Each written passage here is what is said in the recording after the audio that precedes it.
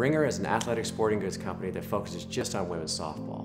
And what that means is we get to work with amazing athletes every day and try to inspire them to believe in their best.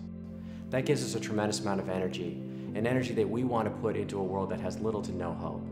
That's what has given rise to Ringor Revolution.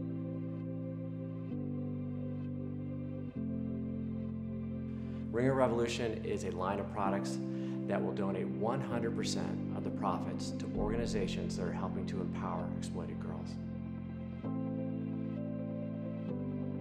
The exploitation of girls can be seen in many different ways around the world. At Ringor, we're going to focus on just three areas, education, clean water, and sex trafficking. These are three areas that we can have a significant impact through Ringor Revolution. Education is such a huge piece to Ringor Revolution because education changes everything. It provides girls with the knowledge and life skills to be successful and is vital in breaking the cycle of poverty. A girl with one more year of education can earn 20% more as an adult, and girls with eight years of education are four times less likely to be married as children. Educating a girl is one of the highest returns on investment in the developing world.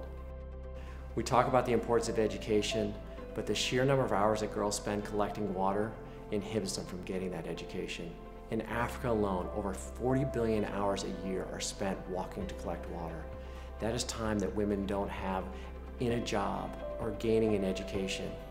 When communities gain access to clean water, women have the ability to get an education and change their lives. The part of Ringor Revolution that is closest to my heart is sex trafficking. Sex trafficking is the fastest growing criminal enterprise worldwide, with over 98% of the victims being female, 98%. And over 50% of those will be under the age of 15. These are our daughters we're talking about. But this isn't a problem that's just somewhere else. In the United States alone, there are over 100,000 victims of sex trafficking. This is a problem that we can help solve by raising awareness and encouraging not only women, but men to take action and speak into their daughters' lives.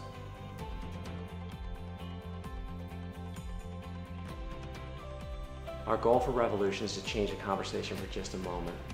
We work with some amazing athletes who can have a significant impact in their communities if they just know what's going on.